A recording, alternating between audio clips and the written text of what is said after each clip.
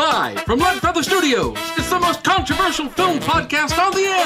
I don't give a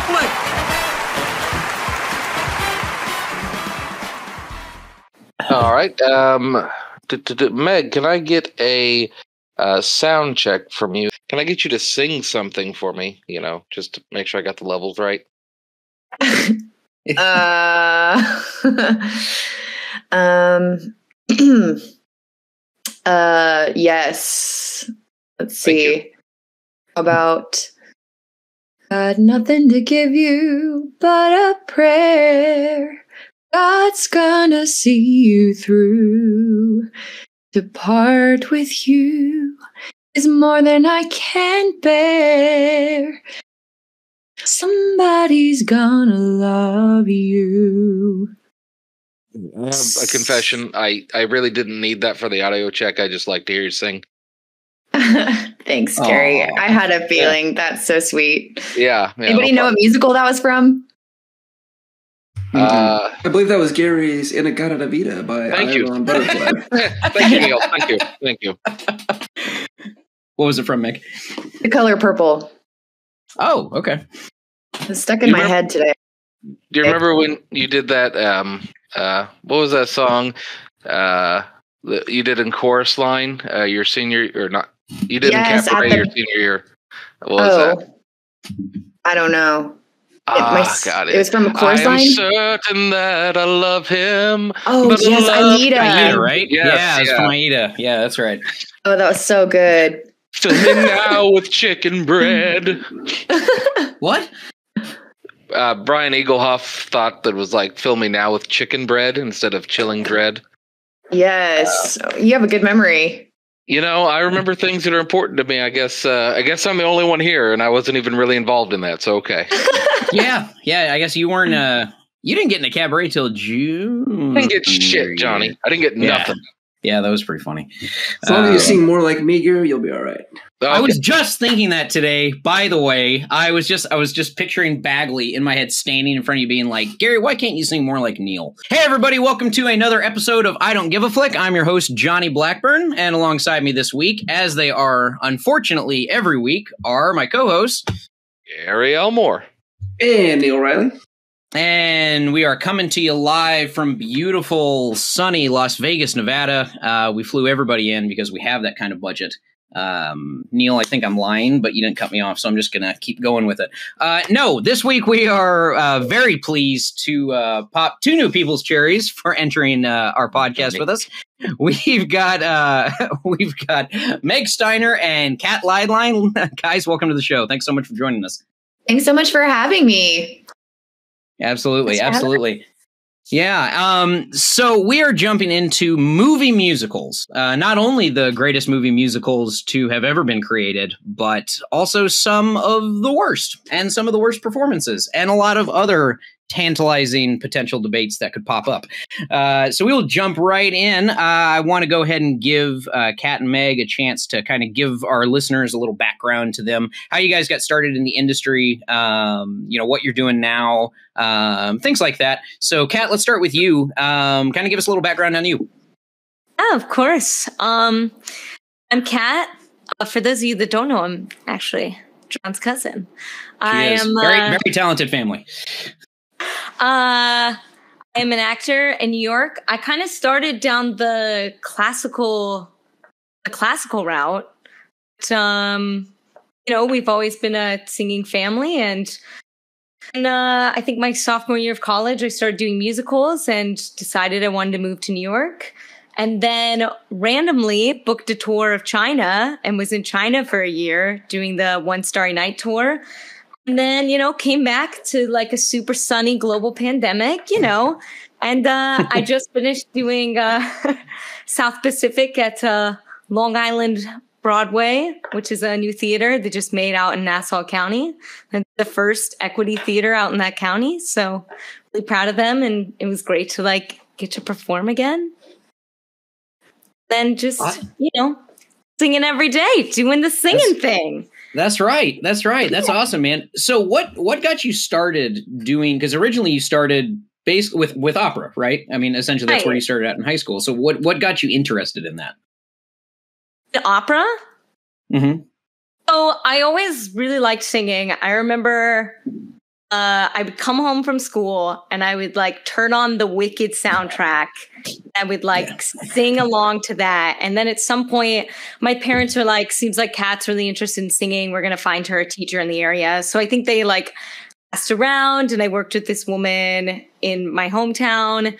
And uh, she was really interested in, in opera. She used to be an opera singer. And so um, I think like through my training, she kind of exposed me to more opera. And then I really like fell in love with that world and in love with Mozart and like wanting to do pants roles, like women playing men seemed really interesting to me when I was like 15. Um, yeah, and then you know, the older I got, I felt like as melodramatic as opera can get, I felt like there was more serious work being done in in musical theater, and and I I really wanted to be a part of that. As much as Yeah. there is like humor and gaiety and all of the things that also come with musical theater, but I felt like opportunity to tell stories in English was something I really wanted to be doing, and that's kind of how I switched over. Yeah, that's that's fantastic. Now, how's it how's it been? Because when I was so for for those of you listening that have been keeping up with us for the last couple months, you guys remember when I did my lap around the country, um, starting this summer, and I stayed with Kat in New York for about a week. We she kind of showed me around, and um, it was awesome. We had a lot of fun. But when I was there, what really sucked was all of Broadway was shut down. Mostly everything else was open, but all live shows were completely shut down. And so, did they just recently open back up, or because I mean, you said you were in uh, South Pacific, so I would assume. Yes. So yeah, Broadway is reopened and they're really doing a valiant effort to keep it open. Everybody's testing every day. And um it's cool because, you know, obviously with Omicron, like more people are getting sick. Um, so like some of the longer running shows are starting to pull from their alumni. And so like Mhm. Wicked has pulled some people that haven't been in the show for like years.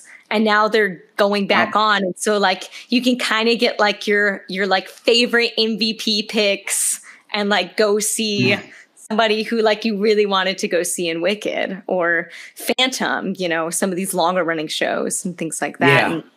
People from the national tours are going back into the Broadway and off Broadway shows. So it's kind of an interesting like mix now. And I'm I'm happy the producers are like choosing to spend the money on on the talent to like keep the shows open and like keep New York mm-hmm. theater scene running. So it's an it's a cool time. It's a challenging time, but you know, I'm glad that people are really making an effort to keep it open. Yeah, absolutely. And man, what I wouldn't give because actually, uh, actually, all actually the four of us here, Meg, Neil, Gary, and myself, we did a uh, we did a New York trip uh, when we were in high school, and we actually got to see Wicked at the Gershwin Theater. And that was, I think it was the year after they opened, and Kristin Ch- Kristin Chenoweth and Adina Menzel were not part of the cast when we got to see it, so we were all pretty disappointed about that. But man, it was Right. still, it was the, it was my favorite show that we got to see. What's up, That Gary? was that was 17 years ago. Yeah, I mean, It's Idina, not- like, Just- Idina just to and let you know. Kristin Are, they're not coming back. yeah, probably not. I Yeah. Don't think the alumni is like, I don't think that search is like that strong that they have to go back Yeah. to like recast. What I wouldn't give, man, that would still be that would be insane. That would be a lot of fun. Would be insane. Uh, but I- I'm glad that it's opening back up, and I'm glad you're able to, uh, you know, get back out there and uh, and perform. Because I know when when we were hanging out, I know you were going a little stir crazy and stuff with not being able to, you know, do what you love.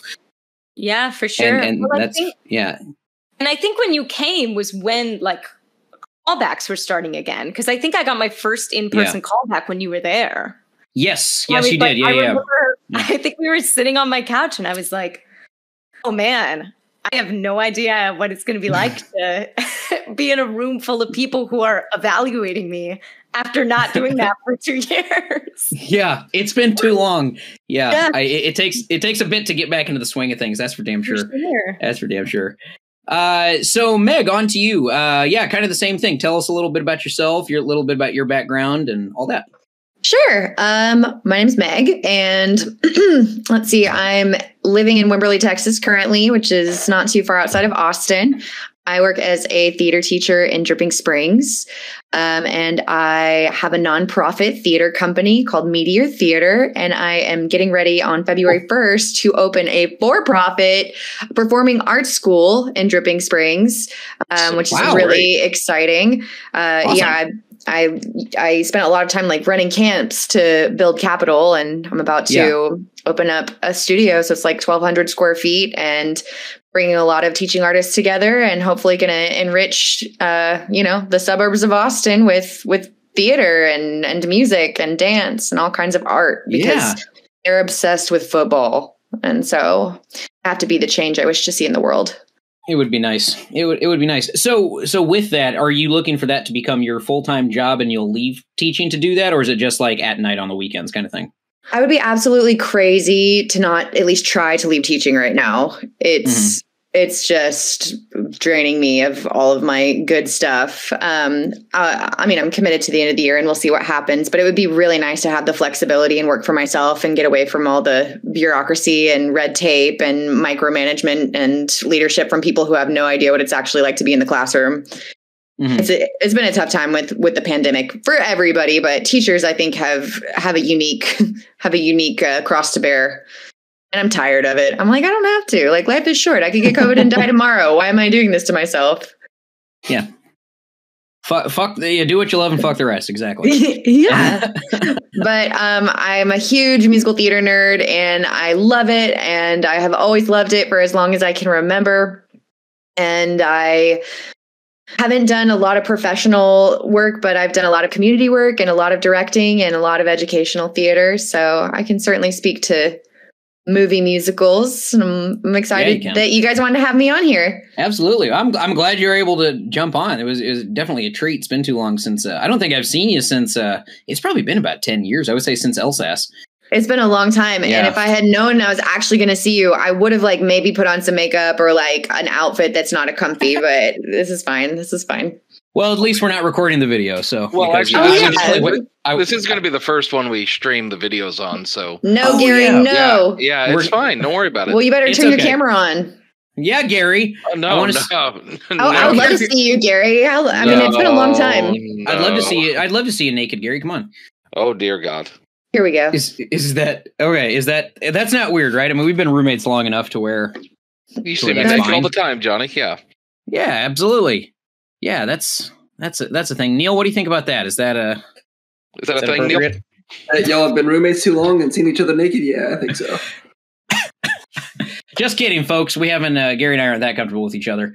Not yet, at least. Uh, we'll see how the night progresses. Uh, well, either way, guys, thanks so much for joining us. Uh, it's definitely a pleasure to have you. Oh, Meg, I, I, I did forget. I was thinking about the other day, um, or earlier. What was the name of the conservatory you went to in Philly again? The University of the Arts in Philly. Arts. That's fucking right. Okay, I don't know why it popped into my head. I was just like, I was like, Meg's told me this multiple times. I can't believe I don't remember. Oh, too much weed in my youth, probably. Um, cool. So let's let's let's jump in. Let's jump in here. Um, I did want to start out with a question to the panel. Uh, jukebox musicals, and for those of you that aren't familiar with the term, juke, jukebox musicals are musicals that were made from uh, an album or just a band in general that uh, made an entire show around you know 30 of their songs or so um, examples might be like Mamma Mia or Tommy uh, Mamma Mia, Mia being off of ABBA and then Tommy being off of The Who um, so with jukebox musicals and we'll, we'll get into Disney and animated films in a second but do we consider jukebox mu- musicals are we going to add those into the movie musical discussion tonight? I, I'm totally, I'm not for or against it. I just want to know the uh, the group's feelings. Uh, the reason that I bring this up is a lot of times with normal musicals, all of that music for the most part is original scores, it's original lyrics and writing. With this stuff, it's already been done and spread to the masses. Um, so some people, at least a lot of articles I was reading, felt that it it was kind of a, a cheap route to go. You know, um, so I don't know. I'm gonna, I want to open that up to everybody. Uh, Gary, let's start with you. What do you What do you think? You think jukebox musicals should be included in our movie musicals for tonight in our discussion? Uh, yeah, absolutely. I think that uh, you know they uh, definitely incorporate music as a large part of their uh, their stories, and they typically will use that music to move the stories along uh, by you know uh, revealing some character information or some plot points um, and that to me is you know all that's required to really uh, be a be considered a musical. They don't all the time have dancing but you know uh, that's okay. But yeah I, I think that the the jukebox musicals would would be musicals to me so it's fair to. I guess th- they're musicals, of course. I guess my th- thought process around that was this when the musical songs when they are written, they're typically written with the story already in mind, and the lyrics are written to help format said storyline progress. And with these other ones, you know, they're they're not. they're just written as as normal songs normally. Um, but anyways, uh, Kat, what about you? What's what's your thoughts on that? I mean, I definitely think jukebox musicals or musicals. Telling story through song is as old as ancient Greece, you know? And so I think if you can I think if you can wrap it up into a plot, like why not? And also like you know, in the 40s and 50s, like musical theater was the pop music of its generation. And like now, like musical theater is mimicking the pop world. And so, like, the more pop and musical theater integrate as they always were, as they were designed to do, we're going to see more of them. And I think that's just the future of musical theater. So, I think you can't have a discussion in 2021 about musicals without bringing in jukebox musicals. Interesting. You think that's going to be the future? Okay. Yeah, that's an interesting thought. I never, I never, I never, I never pondered that think pop pop in musical theater will. I don't I don't necessarily think jukebox, but I mean, mm. you hmm. know, like what's on Broadway right now? Like Six, Mrs. Doubtfire. The, there's going to be a Michael Jackson musical. There's a Tina Turner musical. Diana. Like those are all pop shows. Mm-hmm. You know, I think we're going to see more of that in the canon. People okay. will always write the other stuff, but you know, sure. No, it's fair. It's a fair point. Uh, Meg, same question. Uh, I agree with everything everybody said so far. I think they are absolutely musical um, and should be included in our discussion. I'm thinking of like Across the Universe, and yeah. uh, I'm, I mean, one of the best musicals I saw on Broadway was Beautiful, the Carole King musical, and I just thought it was so poignant and just so beautifully crafted. And mm-hmm. yeah, I mean, like like cool. what, Gary, what what Gary said, it's like as long as the songs are propelling the story, it doesn't really matter if they're all from the same artist. I, I love I love the integration. Thank you, Meg. all right, all right, fair point. Uh, Neil, throw a wrench, throw a wrench in our plans here. Let's not all agree. All right, so I'm gonna think? go ahead and go out on a limb here, and I'm gonna go ahead and agree with everybody. Well, so Neil, throwing a wrench. I mean, plan. to me, like There's a lot no of wrench. bands, a lot of bands, like uh, I know Gary's brother Adam is going to punch me in the face next time he sees me. But bands like Rush, when they put an oh. album out, when they put an album out, their album tells a story chronologically. So if someone wants to put that into a movie, you know, I'm not opposed. The same with you know Blues Brothers. You can take a whole bunch of different songs from different artists and still move the story forward. Okay, this is an interesting point. Like, is there a, I guess, a minimum amount of the movie that would need to be uh, songs? I mean, like, would you consider The Wizard of Oz a musical? That only has like maybe 10, 15 minutes of music and it, tops.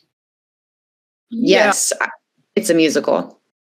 Yeah, I would still say musical, but it's that same okay. thing. You know, you, you you look at you look at a movie like La La Land, um, you know, which was not an original stage production, and then they built it from scratch. You know, and they only had, I think it was kind of to your point, Gary. It's kind of like Wizard of Oz. There was only probably 20 minutes, maybe 25 minutes of music actually in it.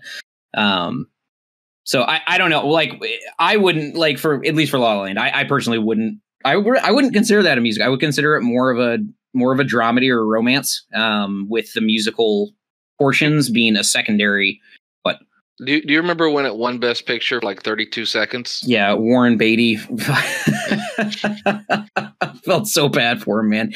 Uh, God, overrated movie. We'll get into that in a little bit. Um, but okay, all right, yeah, fair enough. Um, I'm gonna just I'll instead of going down the line, I'll just see if anybody has any problems with uh, with Disney or uh, animated animated movies um, getting thrown in there. I was going to leave them out for tonight just because there's already so many. But if you guys want to leave them in, I got no problem with that. Um, I was going to say the I was going to ask the same thing because Disney musicals, or if you want to call them musicals, are much shorter. Or there's much less yeah. music than a real mm-hmm. musical would have. But I mean, they just put Frozen on Broadway and they added a bunch of songs. Right.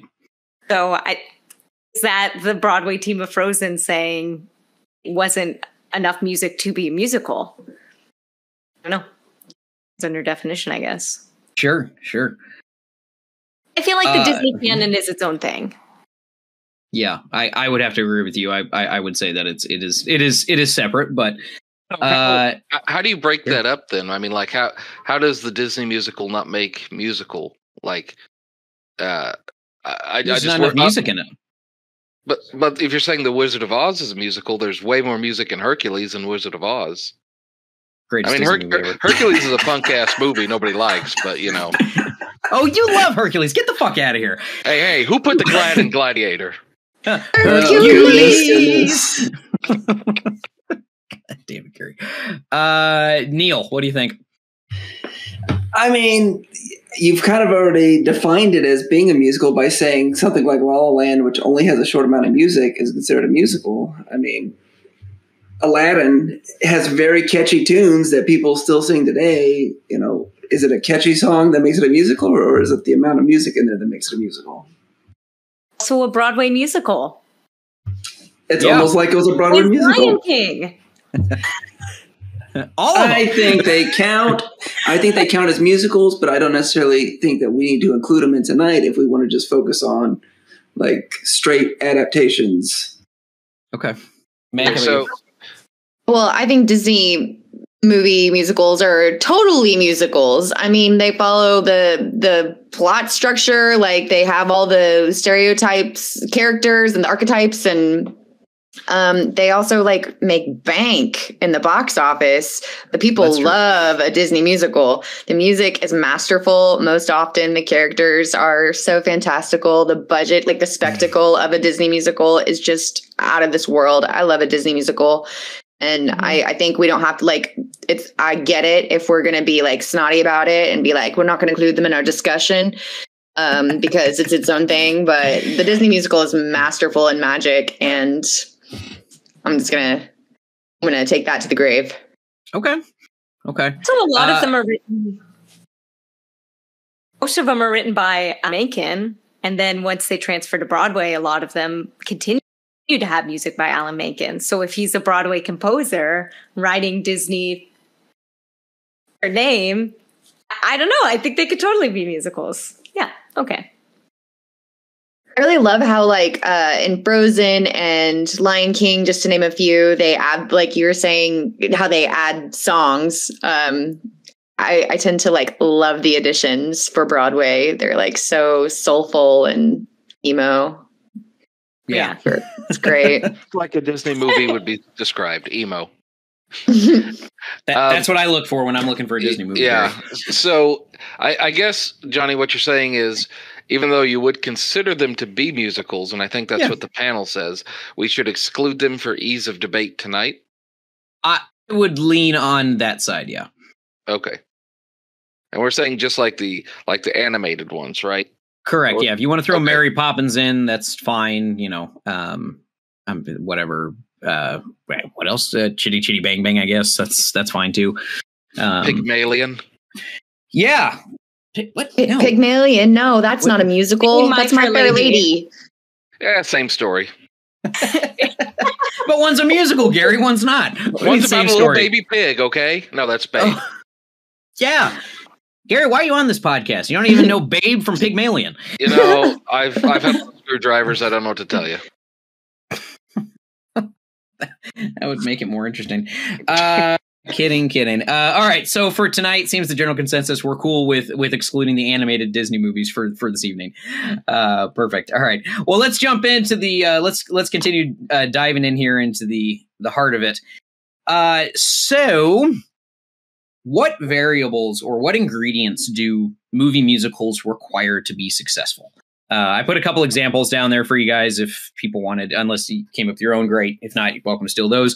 Um, but Kat, let's start with you. When you're watching a movie musical, what does it need to have to be great to blow you away? I would love great voices always. Right now, sure. I think we're seeing a height of movie musicals. And so, and I think people are starting to take as Broadway performers become more relevant in pop culture, we're starting to see a lot of really strong singers be put into movie musicals. So I would love to see this trend continue. I also think a cinematographer who's interested in working with the choreographer is is something that I love to see in a movie musical. We saw this in In the Heights, but right. I think, and it, I don't know, maybe before like the past ten years, there was like a lull in the dancing in in musical movies. Seemed um, like it. It seemed like people would be like, "Oh, we don't really need this movie version." But then I think you know with the way the world is, people are like, oh, well, we do need the dancing. So I think the dancing is really important to a successful movie musical. Okay, yeah, I, I would say that's. I, I, really like your point with the the choreographer and the DP working hand in hand. I think yeah. that's that would that's a really that's a that's a really good point. Never I never thought of that. Um, Meg, what about you? Same question. Oh no, go ahead. Get finish. I'm gonna say singing actors like who understand acting through a song and that it's different than delivering lines. Yeah. Yeah, not just sing talking, you know. Exactly. Not not not Russell Crowe and Les Mis. Um Gary, know how much you love that. Uh, so, so Meg, same question to you. What do you think? What does what does a movie musical need to make it great? Fantastic, super challenging choreography. I mean, depending on the musical, but I think the choreography is so important. I think all the visuals, um, like choreo, costumes, like just the basic color and style. Visually, I think it's got to be just masterfully constructed, and there's got to be a lot of collaboration between all the designers so that they're on the same page. Um, I think yeah, we've got to have some great singers. We've got to have great actors who are flexible and adaptable enough to be able to sort of uh, straddle that medium of theatrics and that heightened emotional state, but let it translate to like the subtlety of film. Um, and mm. I think you got to have a quality story with like quality arcs for the characters in order for it to hmm. translate well. Yeah. So to your point then of it needing to have the great choreography, do you still feel like movies that don't have a lot of movement or movie musicals like a Phantom of the Opera, maybe a, a last five years kind of thing, where it's mostly just the singing and stage blocking, you know, do you, do you think those are as effective as other? No, you don't. Okay. Why is that? No, I'd rather see those in the intimacy of a theater.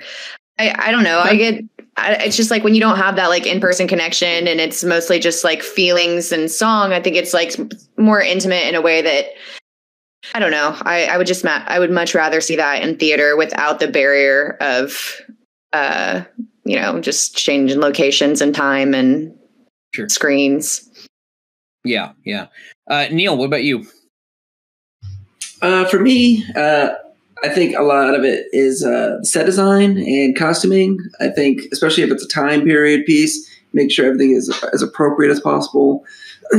Even something like Grease, you know, you can see Grease on stage and hey, cool, it looks like a high school. But then when you see it in the movie, you know, the whole town can come to life and it all just makes the story that much better. Right. Right. Gary, how about you?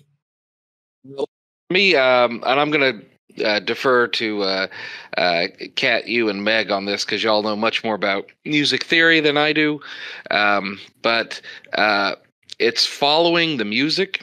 Um, so, like, if you look at uh, Les Mis or Cats, uh, the movie productions, they don't use the click tracks or you know uh, the beats. They kind of tried to have the band or the orchestra play with the singer rather mm-hmm. than the other way around, uh, which is you know that's how i prefer to sing personally but apparently like professionals and people that know what they're doing really do hate that because it doesn't come out very well at all as we could see in those movies um and you know like if you look at the in um Les Mis, uh the lady who played Eponine, I can't remember her name, but she was like a real uh, like Broadway singer, and she actually was like, "I'm going to stick to the to the back." So like she sang it, uh, you know, to the music, and her scene I think came out much better. Or if you look at Cats, I don't know how many of y'all saw Cats.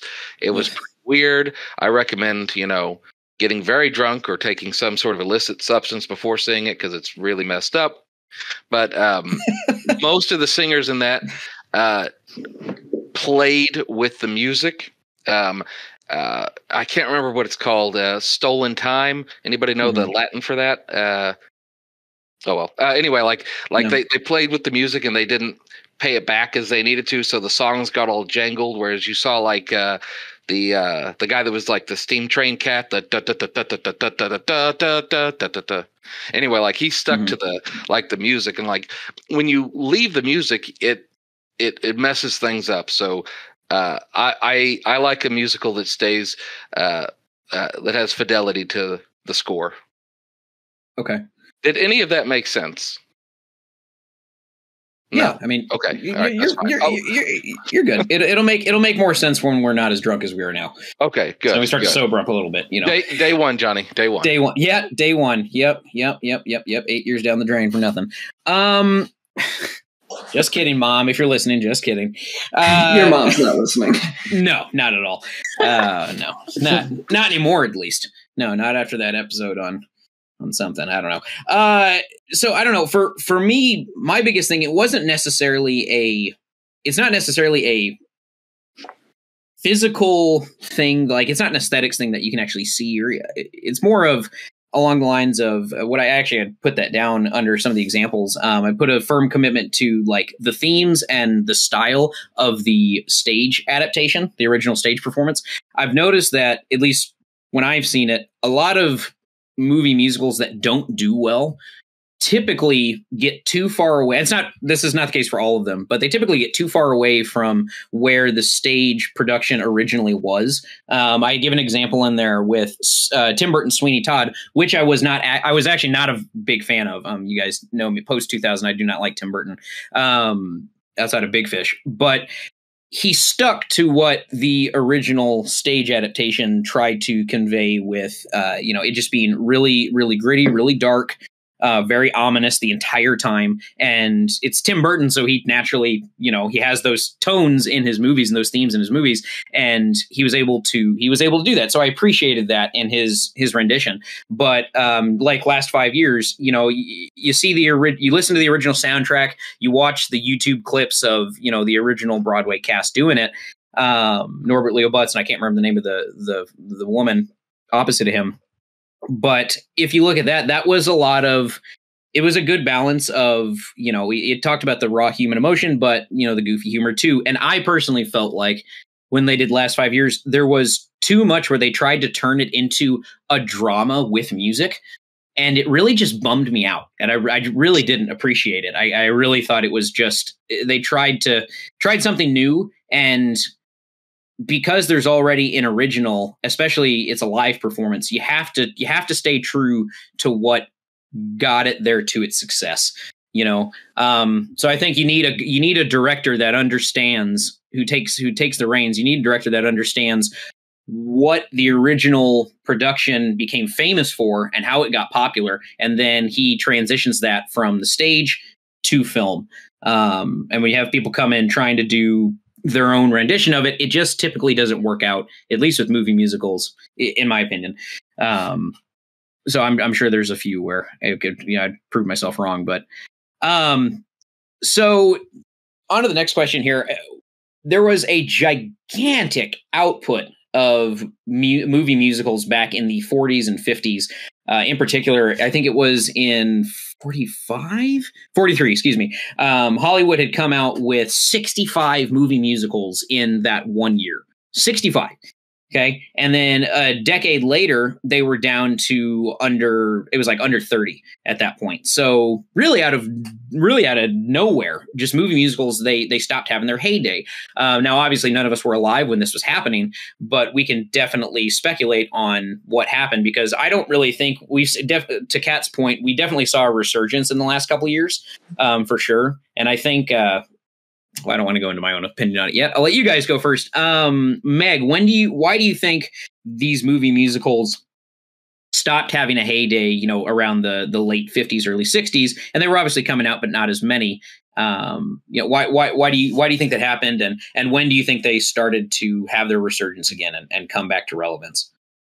Well, I think that theater is really good at sort of embodying the zeitgeist of the current times. And I think um, at the end of the 60s, we started culturally moving to a sort of gritty rawness uh, with what was happening around politically, with war, with sort of just like the cultural dynamic. It was a little bit too mm, seedy, dark. Um, it just didn't really align with the the values of the like song and dance, like glitter and be gay sort of musical. I think it was a time for more like realness more like grounded artistic representation of of the times.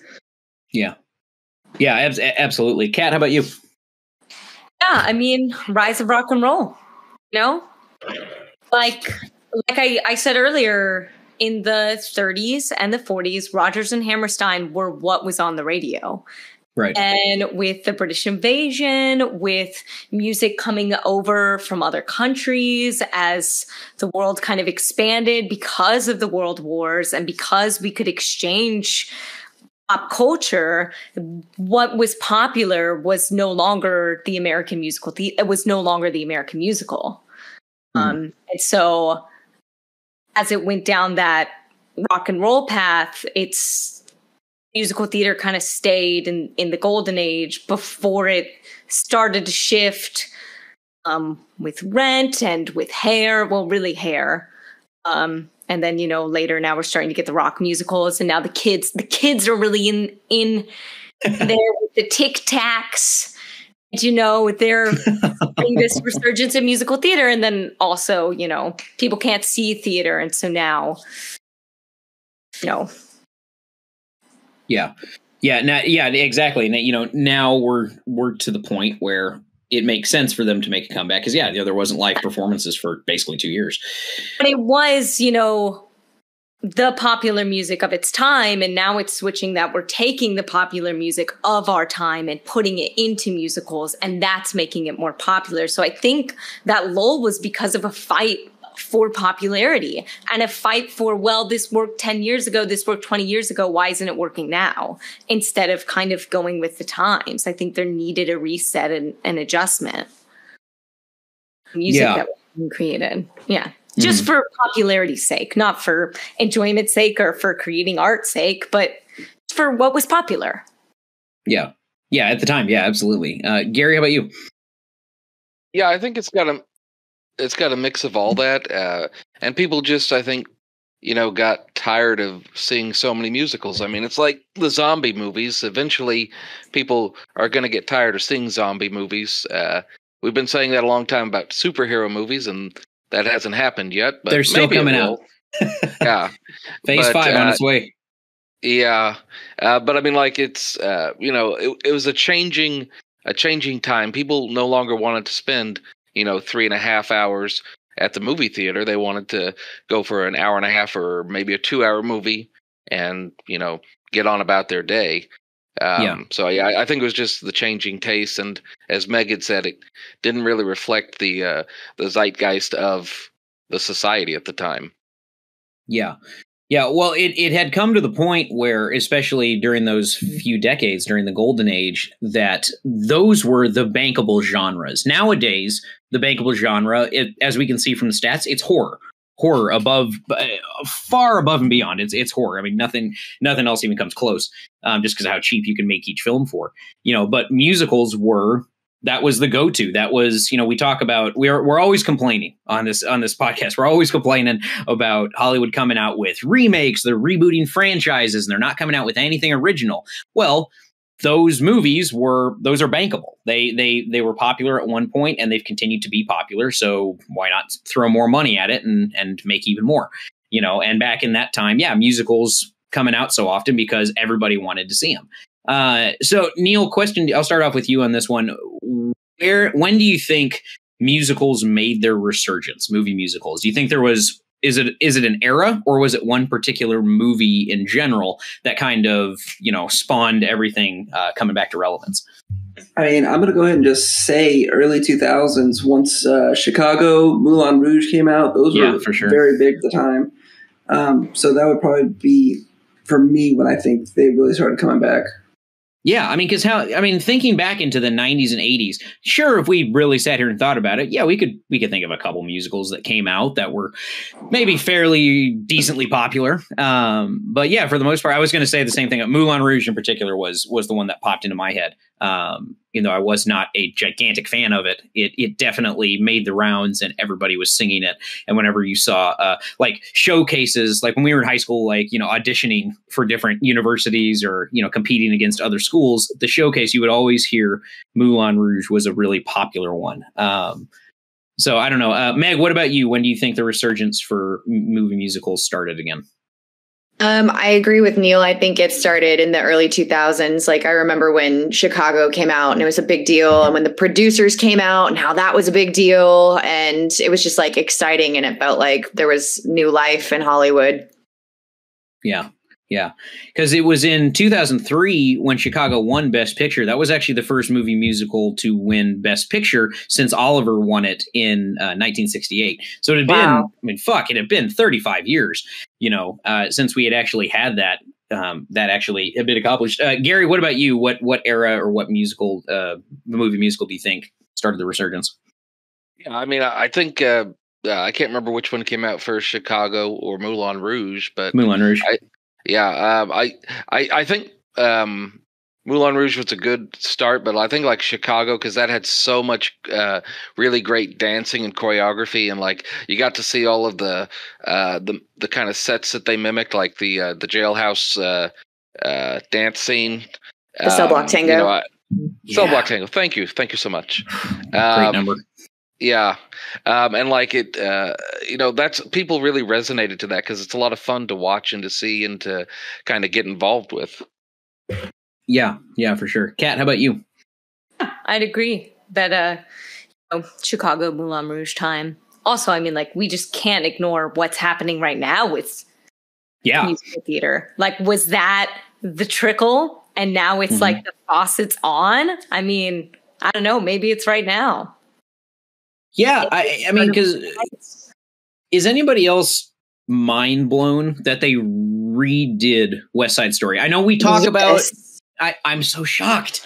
And so not only, you though, we just only, discussed that they they just copy and paste things they've already done. Yeah, but it's like, go ahead not only did they redo West Side Story, they redid it masterfully. Steven Spielberg, one of the greatest directors of all time, like took on West Side Story and they they used all of these great young actors and they somehow connect. I was beautiful. I was so I was so excited by not only the fact that they went back and decided to bring up this, you know, wonderful classic musical and that they did it so well. Did y'all see yeah. it? Yeah, yeah, yeah. It it it, it was good. I, I I didn't like it as much as the original. I didn't dislike it. I just I don't know. I, I'm I'm a big fan of of the first time them doing it, and just like Neil had pointed out, I I personally have a big problem with Hollywood constantly revamping different movies or different franchises and and trying to make more money. It just seems lazy. Um, not that this rendition was; it definitely wasn't. Um, but yeah, it's still good. Anybody else get a chance? Nope. Okay, just me, Meg. Well, give it a shot. It's uh, it, it was it was a pretty interesting watch. That's oh, Jonny, sure. you can make that your recommendation for this week. I could, I, I, could, Neil, but it's it's too early, Neil. It's too early in the ah, episode. Ah, spoiler I alert! To, I spoiler alert, brother. I, I, I gotta give, I gotta, you know, I gotta build up to it. Gotta build up to it. um, yeah, yeah. You know, I, I think too with oh god, what? It wasn't Tick Tick Boom. I know that just came out with Andrew Garfield, but Catherine, Kat you just mentioned it. Uh, Lin Manuel Miranda. What was his other? In one? the Heights. In the Heights. Thank you. Um, yeah, you know that one came out, and that one. That was probably my favorite musical I've seen in so the last good. five years. So awesome. Ninety six thousand. I thought it was just like the the sequencing and the cinematography with the mm-hmm. choreography. Mm-hmm. Like it blew my mind. Like it gave. It's the only movie musical I think I've ever seen that gave me the same feeling of seeing like a big number on stage. Yeah. Yeah. It, it's hard to do that too, especially with film because it's just it, it doesn't have that same allure. You know, it doesn't Right. have everything's not as large. It's not as right. grandiose. There's one small exception though. I think in Dreamgirls when uh, Jennifer Hudson sang, and I'm telling you, I'm not going. Mhm. I, I felt it. I felt it. Yeah. Yeah. Yeah. I, I got goosebumps from that one for sure. Oh man. God. Um, so moving, moving past, moving past that, we can definitely agree across the board that, yeah, obviously musical movie musicals have made their comeback. They're, they're not at the forefront. Um, they may never be again. Um, but who knows? Um, so there's a lot of musicals though, especially very successful and popular ones, you know, a lot of that have won multiple Tony and Grammy awards that have not been filmed and not turned into a large scale production that haven't been put on the silver screen quite yet.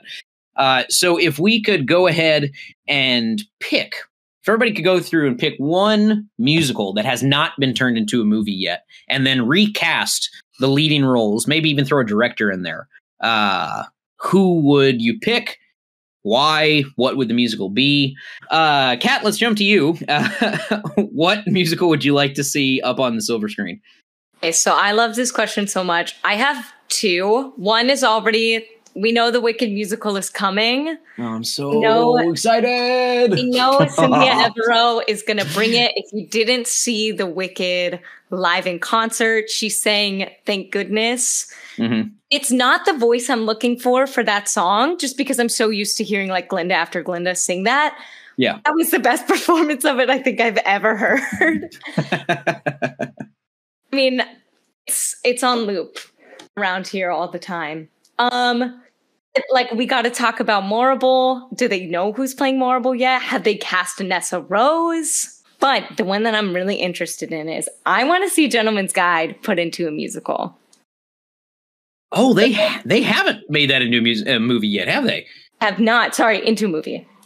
Yeah. Um, Okay, but here's my God, I thought they had for some reason. Okay. They haven't. Here's my casting for Gentleman's Guide. Okay, Phillipa Soo would be Sibella. If you haven't, if you're like, you know what, I don't know, she's really sweet in Hamilton, you need to watch her in Dopesick. Haven't seen that. Okay. Be a bitch and really funny. And I think Phillipa Soo's got it. She's got a good soprano. The show would be hard cast. I think you could go James Corden. I mean, I know he's like in every movie musical, but he is British and he is funny. Or like a Josh Gad. Also, like Ricky Gervais might be kind of interesting because that character doesn't really need to sound amazing. Or like, let's gender bend. Let's just give it to Meryl. I mean, Yeah. No, she'd be amazing. she probably could pull it off. Yeah, it wouldn't surprise me. It's a BoJack Horseman episode where Meryl retires. And they're like, you can't do it. We wrote the perfect film for you. You can play every character. It's like a nutty professor Eddie Murphy kind of thing. yeah, so that's that's what I'm seeing. And then I think um maybe you should just go to like a good like young soprano, maybe unknown, like maybe I mean Shereen Pimentel is not unknown. She was uh, Maria in the most re- recent revival of West Side Story, Hmm. but I think she would sound really good on the music. Like is kind of up and coming, so she might be a good choice. That's who I'm throwing out. Okay. Who would you like to direct it? Oh, Jonny, Jonny, Jonny. You know I didn't think about that. It's all right. You gave me a full cast list, more than I thought. So I thought you were going to give me like two or three. So that's great. I'll take that all day. Uh, no, no, that's great. No, that, that's that's fantastic. You really put some thought into it. I think on mine, I picked like two people. I think. So Oh, okay. I was I taking s- yeah. notes on I mean, I mean, psych. I picked like twelve people. So that's cool. You know. I'll revive Uh, it with lameness. Go. Meg, how about you? What would your uh, what would your musical choice be? Um, I want to pick two as well, if that's okay. I Yeah, would, okay, so I love Fun Home, and I would want to see that on film. And I want Sara Bareilles to play um, the older Alison. I don't know about the other ones. I mean, whoever, uh, but I would love to see that. And then I would also like them to turn Next to Normal into a film starring Meryl Streep and Zach Zach Efron as her son. Okay. Well, he's probably old now, but like you know, the younger version of Zach Efron. How old is he now? Efron, he's got to be. Or he's probably in his early thirties, right? He could play it, right? He could play a teenage boy. No, maybe not. Well, I love those musicals. I think they're they're gritty and full of heart and wisdom, and um, I would love to see them. Yeah.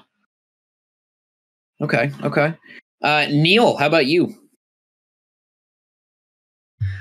Uh, I think uh, I would like to see a film adaptation of the Book of Mormon, uh, directed you by Seth MacFarlane. Son of a bitch.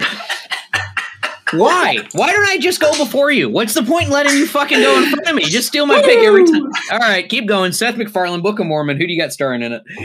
I mean, I don't know. I'm not a casting director, but I think he he would have a very good uh, shot at making that uh, a very well done adaptation. He's got uh, a lot of history okay. with musicals in both TV and film. He's done mm-hmm. a bit of mm-hmm. directing. I just think that would be a good fit for him.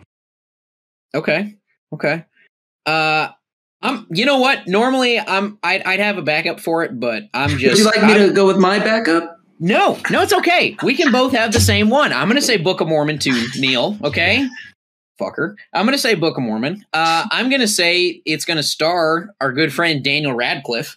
And I'm going to tell you why I'm choosing Daniel Radcliffe. Okay? Please tell me why you are choosing Daniel Radcliffe. Because if you have seen the crap that he has put and it's not I, I, say crap not that it's it's bad i'm just using that as in general the stuff he's been putting out recently uh, especially over the last like six seven years with uh horns swiss army man in particular uh you know i mean he did he did the live version of equus on broadway i guess that was a, a straight play but you know he did that years ago um he's just he's got really really impeccable comedic timing that people i don't think people really understand because he's not in comedies very often you know? Um he's just subtle. He's very fucking funny.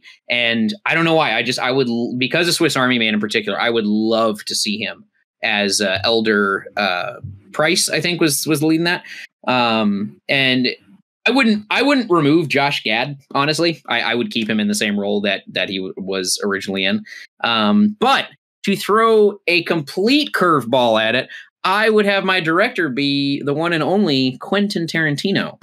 I was going to say him because he is so musically inclined. His films have the best soundtracks. They do have the best he was soundtracks. Be my backup director. Stop being in my head, Jonny. God damn it. Great minds think alike. I don't know what happened here, but you know, good good enough. Uh, self-deprecation humor, fantastic.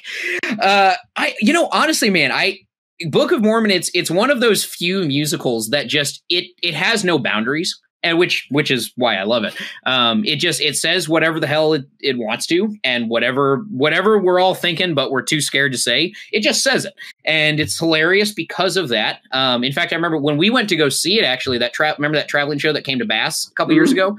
Um, yeah. Do you do you remember that older couple that walked out five minutes in? Yes, and like, these guys are in their like seventies, and they're in the middle of the fucking row. And you guys have been you've seen Bass; it's huge. And so they get up, and it takes them like five minutes to walk out of their row, and they're like, "Oh, excuse me, excuse." And just so many people. Oh, it's hilarious. Um, but I just I think with Tarantino because he always goes overboard. Uh, you know, a lot of explicit language, uh, lots of blood. I I just would like to. I think that'd be a, a funny choice. I think seeing him doing that. Uh, Gary, uh, I uh, would like to see a movie adaptation of the music. I love you. You're perfect. Now change, uh, which is one that I saw off Broadway, um, uh, and uh, quite enjoyed it. Um, yeah, yeah. Um, I would like to. I'd probably cast in it for the two males, Joseph Gordon-Levitt and Chris Pine, and for the two females, Emily Blunt and Margot Robbie. Okay. Um, yeah. Um, what and, led you to uh, those decisions? Uh, I just curious. I've never seen. I've never seen them in a movie together. Um, I uh, I like Chris Pine when he did the uh, um, uh, the uh, the prince, one of the princes. The yeah, yeah, he, Prince and Into the Woods. Yeah, yeah, Into the Woods. Thank you. Um, yeah.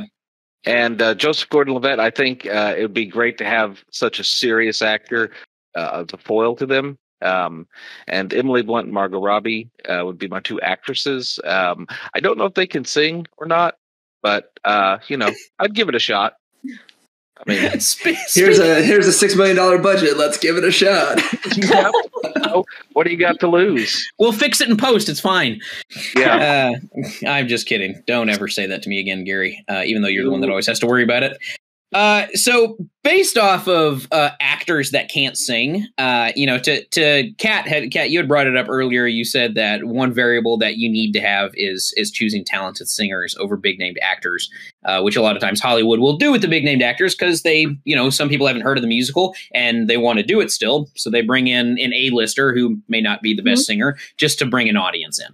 You know, um, so with this next question, I want to pose to you guys who do you think had the worst performance or vocal chops of an actor in any movie musical ever? There any any any era can be any it can be a small role, can be a large role, be a cameo, doesn't matter.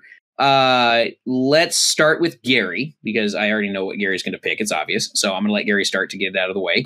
Uh Gary, who do you think? Who do you think was the uh who do you think had the worst performance of a big named actor in a musical? Russell Crowe and Les Miserables. Yes, one thousand percent. Everybody is gonna say that. yeah, there's like no other option. Uh, I mean, there's other options, but he is. There, the there's always options, but yeah, that that's. I think that's far and away the number one, probably. if not, if not up there. Uh, it's probably number one, two, and three. So yeah, probably. uh, Meg, how about you? Is there is there another one you would choose outside of Russell Crowe as Javert? I couldn't think of anybody other than Russell Crowe. Okay. I mean, he's just. A- I was he was absolutely terrible, and and I'm you know that's not very nice to say, but I just can't believe that happened. I just said it anyway. Yeah, I mean, yeah, I, well, I respect. people thought that he was going to do okay because he tried to be a he was trying to be a musician or a rock star in the 80s you know he put out a lot of albums um, i guess they just didn't listen to them that would have been helpful. Probably would have uh, saved uh, you know some review points on the back end uh, for the directors. Uh, I, am going to have to say that Gerard Butler in Phantom of the Opera was was was probably mine. I mean, Russell Crowe definitely did a bad job, but I, I figured everybody would pick him. Um, I just absolutely love Andrew Lloyd Webber outside of Cats. Um, to a T. I just he's a he's just a he's just a brilliant person. And when they did Phantom, when it came to theaters, that was actually the only musical to that point I had seen live. Um, I had, you know, I'd, I'd seen musicals, but that was the only one I had actually seen on stage. And so I was really excited when it came out. And I remember being a teenager and being like, okay, this is all right. I'm not going to watch it again, but, but it's okay. But I just remember hating Gerard Butler. He just, he, it wasn't even that he couldn't sing all the notes. It was that his accent was so thick and I just couldn't get over it. I, I just couldn't stop. I just I couldn't believe him to be to be the Phantom. It just it didn't work for me at all. Um, so that that that would be mine for sure. Uh, Kat, how about you? Who falls into that for you? Uh, I don't know. I think performing's too hard to do that. You know what I mean? yeah, because of sure. like I, I you know, as a voice specialist, like it takes so long to change things in your voice. And like, if you're not, if you're not already coming to it from this world, like it's just too difficult. And like, I mean, you know, I'm sure I've done stuff that I'm bad in that I'm glad people didn't see. And,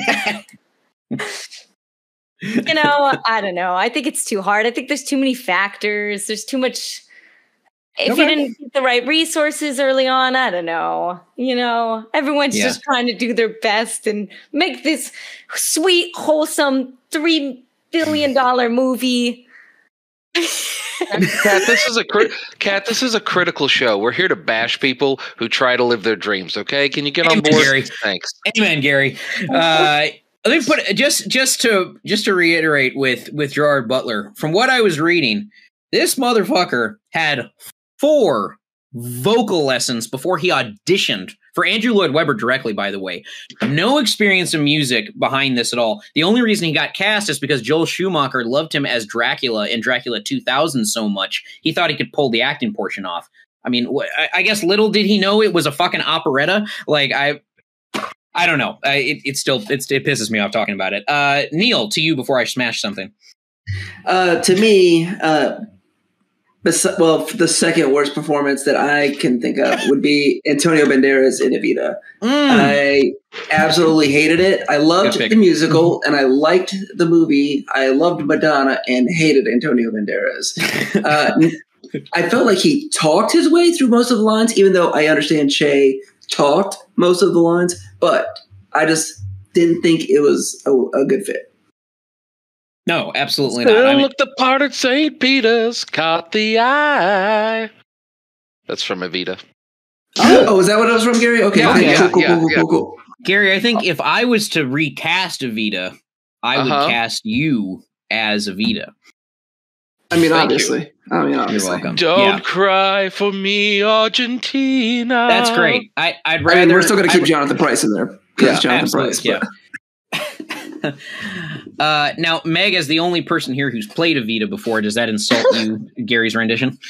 Oh no, I thought it was beautiful. Okay, thank all you, right. thank you, Meg. Lies, I appreciate that. Lies I appreciate that. I, I, love the two of you as guests. You're both very polite, and and you don't make Gary feel bad about himself. I guess that's Neil my job. So, um, so that's that's that, that's good. That's good. No, uh, uh, yeah, I, I, there's a lot. There's a lot of big name. I, I would I would throw Johnny Depp as Sweeney Todd back out there too, just from the vocal wise. Um, there's a lot you could throw in there. We hope that you are enjoying this rousing episode of LeadFeather Productions I Don't Give a Flick. To help us bring you more of the content that you love, please consider following us on Patreon at patreon.com slash leadfeather. There are three tiers to choose from, with special and exclusive merchandise in our VIP level. We now return you to your regularly scheduled programming. Anywho, we are down to everybody's favorite segment of every most episodes that we have. We are jumping into Mount Rushmore plus one. Uh, for those of you, if this is your first time listening, uh, and for for Cat and Meg, since they haven't done this before, basically what we do is we go ahead and each person on the panel gives their own top five of best or favorite movie musicals of all time. If somebody takes one of your picks, though, you have to find you have to use one of your backups. Uh, once we've all done our five picks, then we collectively try to come up with a top five list, or as we've coined it, a Mount Rushmore plus one. Uh, so sometimes those go quickly because we all agree on what the top five are. Sometimes, like our sitcom episode, that lasted for like an hour. Um, we've been going for a while already tonight, so that's not going to happen. Uh, but it is possible. It, it can be very, very frustrating uh, especially the more people you have. So let's jump right into it. Um, you don't need to give your top five list in any order. It doesn't need to go one to five or five to one. It can just just be random. That's fine. Uh, so I will let our guests start us off, and then we'll kind of mix up the order. Uh, but Meg, why don't we start with you? What would be on your top five for greatest movie musicals ever?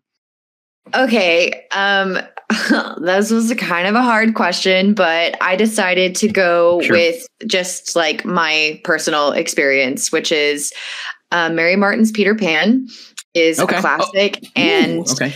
uh, it was the first movie musical that I ever saw, and okay. it it did something to me that was good, and I so that's going to go on my list. Um, the Sound of Perfect. Music Oh, well, let's think. just go one at a time. I'm sorry, I didn't. Oh, I didn't specify sorry. at the beginning. No, it's sorry. okay. It's fine. It's fine. Um, okay, so we'll so so Peter Pan is, is, up there for sure. Awesome. Okay, so I will add that onto the list. Uh, Kat, how about you? Just give us one. I was gonna say Sound of Music. Just thrown out. Can I take it? You I very, mean that aerial shot. Yes, you can. You can. You very, you very much. You very much can. I apologize. I didn't that explain the aerial shot at the beginning I mean, I am a grown adult, and that will make me weep for the whole beginning of that movie. I would just be on my couch, totally fine, just like a Tuesday afternoon, fully in tears, just by the opening. And then when they, uh, yeah, okay, you, you are you're you're more than yeah you're more than welcome to give us a, a rundown of your thoughts on it. That's that that's perfectly fine. So this, uh, this, yeah, the song where they're like, "I must have done something good." Didn't mm-hmm. they add that to the film?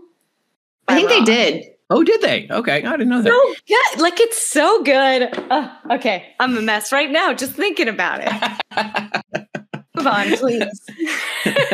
Give me a minute to compose myself, please. It's amazing. It is.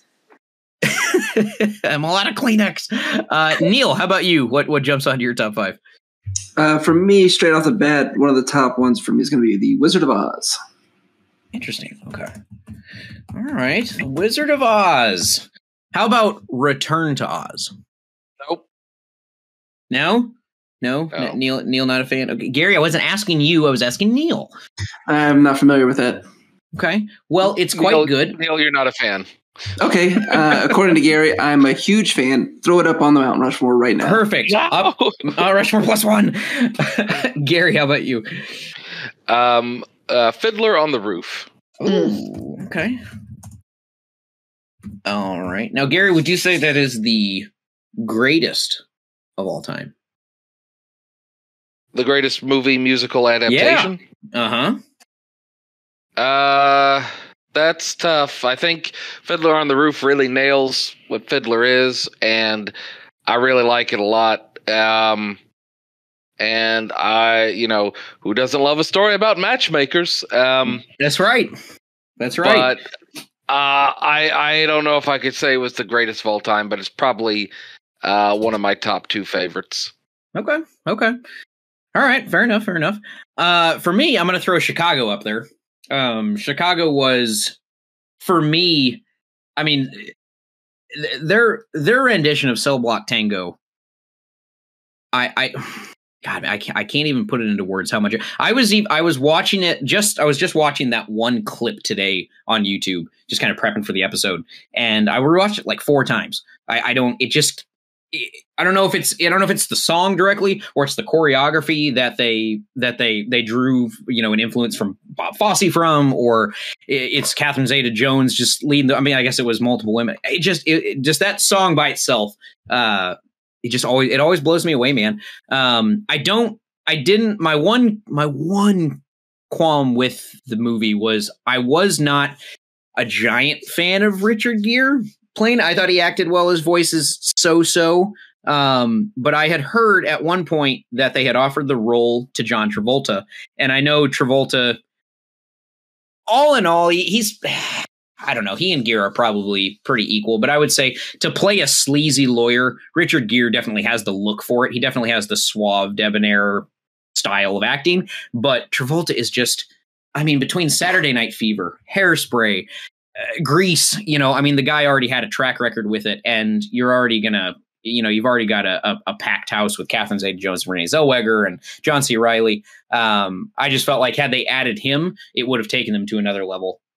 I don't know. Very well, may have destroyed it for all I fucking know. But that's probably the best art direction and production design that I've seen in a movie musical myself. Just the sets that they were able to build during the musical numbers, not just Cell Block Tango, um, but for especially the, the song where Renee Zellweger's character is. I don't remember the um the but up but reach for the gun. I don't remember the name of that one, but that that set was also fantastic. Also blew me away. But Chicago's going to be mine. Um, let's switch up the order a little bit. Uh, Neil, why don't you start us off with your number two?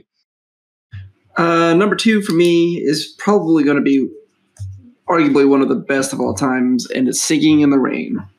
Oh, you son of a bitch! Okay. Stop going to me, Johnny. Stop I going to me. I, I sh- uh, okay, you're right. It's my fault. I, I just shouldn't go to you. I should just ignore you and pretend you're not a part of the episode. Now, do, Uh, do you like it better in the original movie or in Clockwork Orange? No, Gary, we're not we're not getting into this again. Oh, Look, you asked about Return to Oz, Johnny, so you're stupid Look, shit. Hey, hey, motherfucker! We're we're not going Hey, into this again, and we're not talking about Die Hard as a Christmas movie. Okay, we will get into all of It's a- these later. It's absolutely a Christmas movie. It's not a fucking Christmas movie. It's a movie that happened to be based on Christmas. you have said multiple times it's a Christmas No. movie. No, I haven't. You, I Okay. you took you took you took the you're the editor, Gary. You took the footage from Uh-huh. multiple episodes and you you fabricated something I never Oh. said. You said So That's not going to hold up in court. Gary's the engineer. I don't know what to tell you. He's the audio engineer. He can make it happen. Uh, it doesn't matter. Uh, Meg, how about you? What would be number two for you? Um, well, again, this is just like personal preference, but I absolutely love Gypsy starring Bette Midler. Ooh, okay. It's so good. It's Mm. just, uh, I, I mean, I don't really know what to tell you. It's just, it, it, it captures the story so well. The act, Mm. it's, it's beautifully cast. Everything, it, it, they just did it all right. Yeah, yeah, yeah, yeah. They did. How? So let me ask you. So when I had seen Gypsy, I was probably in my early twenties, so I, I, was able to understand the plot a little bit better because I was actually an adult. How old were you when you first saw it? I was probably like eleven. Okay, all right. Yeah, right. I really connected with the kids mm-hmm. in the show. I liked okay. watching them grow up. Um, and then I liked the idea of like growing up into like the naughty burlesque house, like, ooh, like coming into your power, like you can be a bad girl and that's okay. like, I loved it. Perfect. Uh, Kat, how about you? And we got to put in the heights up there. Mm, yeah, baby. Yeah. All right. Okay. Okay. Yeah, Lin Manuel Root. Absolutely beautiful. Also, Lin Manuel Miranda's cameos in that are amazing. Where he's just oh, because I mean he's just. I know, but like I feel like talk about coming into your power. Like I feel like he really realized like who he was in this film. Yes, just I just felt well, I don't know. I love it. Ice cold Piragua. I mean, I just oh god, I, he yeah he he was he was fantastic in it. Um, even the if he was dancing, only in it for two I mean, get out of here on the side of the building. It's, it's mm-hmm.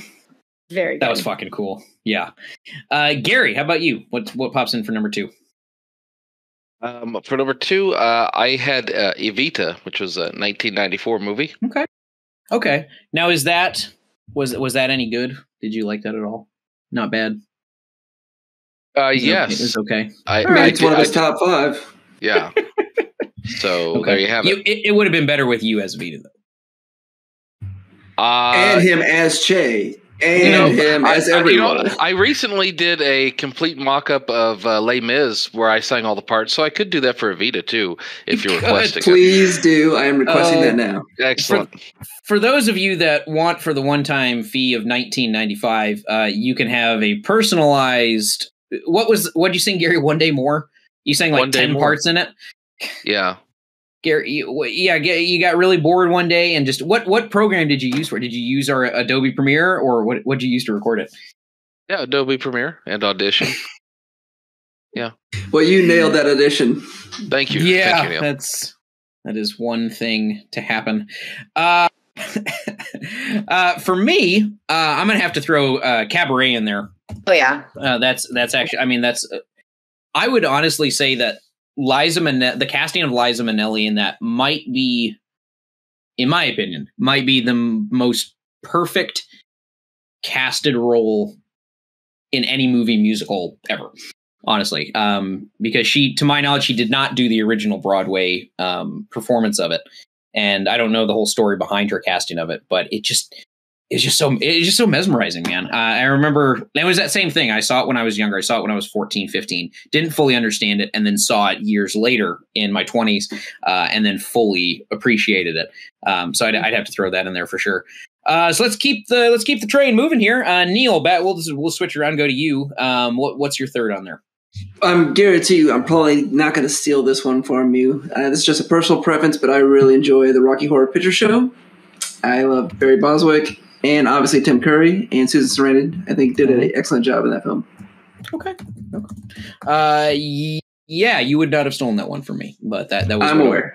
That would, would be one of one of mine on the outside looking in. Actually, I hadn't seen that ever, and then I remember that you, me, um, I think it was Allison Houston, and I don't know who else. It was just a random group of people, but we went to go see it, and I had never seen it before. And we actually accidentally went to Alamo Drafthouse's uh, quote along or their yeah. sing along, yeah. And so we couldn't hear any of the songs, and so we left halfway through. And then I remember that we we were we were drinking on the way back to your house, and I think we started the movie at your place, and I fell asleep within like five minutes.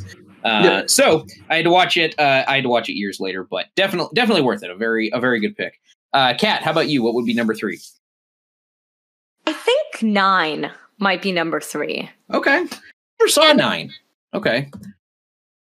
It's just because of the story of Maury Yeston composing it. Like okay. he, when he was composing it, he was like, "Well, the story of this man is all of his women," and, mm-hmm. and then he was like, "Well, how do you get around the fact that you have an all treble score?" Mm-hmm. It was too expensive for the Broadway show to in a male ensemble to do backup. and didn't make sense. And so then they were able to like reimagine the score when it was put into a film. Um, right. So I I loved what they did with it. Now I, I can't remember. I remember Daniel Day Lewis was part of that cast. Is that correct? Mm, I think so. Nine. Okay. Okay. Because um, I, I, I remember seeing there was also an animated there was an animated feature called Nine that came out around the same time, uh, and that one I think that was that one was about like a bunch of dolls that had been made by a mad scientist and they came to life or something. That's obviously not the same thing. Not, that is not the same thing. Yeah, yeah, for sure. Oh yeah, um, but when I when I had heard about it, everyone's like, "Oh, Daniel Day Lewis is in it, and he does pretty great for a musical." And I was like, "What? I saw that. That wasn't a fucking musical." And then I realized Fergie was films. in it too, and Fergie mm-hmm. was kind of great in it. Ooh, okay. I always yeah. love her. Uh, yeah. Meg, how about how about you? Number three. Um, I think for number three, I'm gonna say Grease because okay. classic. It's a classic. It's great. John Travolta, Olivia Newton John, fantastic. Ooh, uh, uh, Stockard Channing is an amazing mm-hmm. Rizzo. Um, I think it's just just such great music and so much fun to watch. And I saw that very early. And now, of course, I look at it through a more feminist lens, and I think there's some problems there. But uh, mm. when I was young, I just absolutely loved it. Nice, uh, Gary. Uh, the brave little toaster. That's a good one, Gary. What's your three? The brave little toaster. I thought we agreed that we weren't doing animated uh, animated musicals. You, you said Disney. Oh God, fucking uh, fine. You know what, Gary? Okay, I will put Brave Little Toaster on the list. Thank you, Brave Little Thank Toaster. I appreciate that. You know, looking at that through the lens of an adult, that's actually a really dark and depressing movie. Yes, yes it's about it's suicide, morbid. Johnny. Yeah, exactly. That's why it connects with me so well. Shut the fuck up, Gary. Get the hell out of here. Fucking nihilist motherfucker. Um, oh God. Okay, so for me, God, this nobody asked you, Johnny. A tough one. Well, that's the cool thing about being me, Neil, is I can ask me and I'll answer myself. So you know, don't let that get confusing. Uh, I would, I would honestly have to say, I really, really enjoyed uh, I really, really enjoyed Seven Brides for Seven Brothers. Uh, I, I, don't know if, if you guys have, have seen that or even heard of it. Um, it's not quite as popular as as some of the other ones, but it came Black out. White. yeah, it, it, it, got a Technicolor uh, reboot a couple years after no, its initial release. Yeah, it did.